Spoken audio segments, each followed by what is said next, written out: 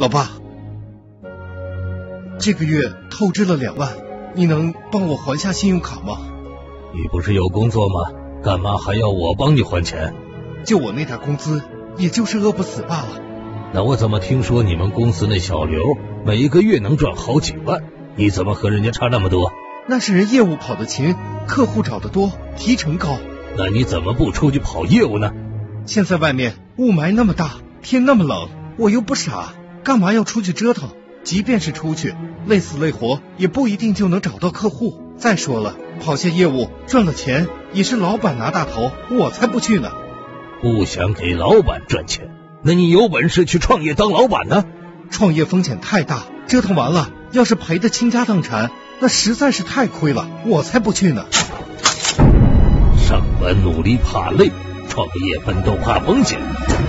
那你有没有想过，你不折腾怎么可能有未来呢？成吉思汗要是不折腾，那就是个放牛娃；毛主席要是不折腾，那说到底也不过是个师范生；马云要是不折腾，那不过是个英语老师，本身都是普通人。折腾对了就成功了，成了有钱人；折腾错了，大不了从头再来。如果不折腾，那你一辈子也就这样了。你明不明白？那不是还有老爸您吗？你个废物！爹妈给你的叫背景，自己打的才叫江山，知道吗？这么大个人了，除了混吃等死靠老爸，你说你还有什么本事？我王者荣耀是最强王者。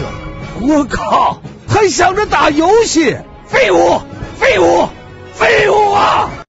不交友，不创业，不奋斗，不去接受新鲜的事物，不过没试过的生活，不为理想目标闯一闯，却整天坐在办公室，挂着 QQ，看着微信，逛着淘宝，玩着网游，拿着包月的工资，日复一日的做着重复的事情，干着八十岁老人都能做的事。难道你的青春被狗吃了吗？你生命的激情去哪了？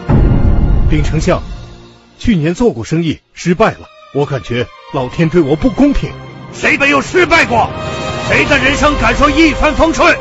你看王健林创业三年被告两百多次，刘强东三十四岁一夜白了头，马云三十岁搞翻译社生意惨淡，靠卖袜子补贴家用，宗庆后四十二岁蹬三轮车走街串巷卖冰棍，失败并不丢人，丢人的是一辈子没有胆量去尝试，还整天唧唧歪歪抱怨老天对你不公平。年轻人，醒醒吧！此时不搏何时搏？行动起来，为了你美好的生活，闯一闯吧！很多人都会说，等你成功了，我就跟你干。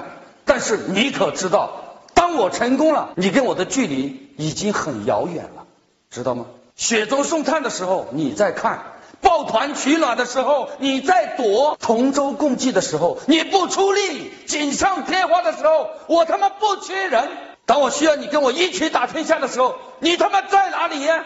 所以说，悲哀的人总是用自己的时间来见证别人的成功，可怜的人自己不敢大胆去尝试、去奋斗，却还嘲笑那些为梦想努力奋斗的人，活该！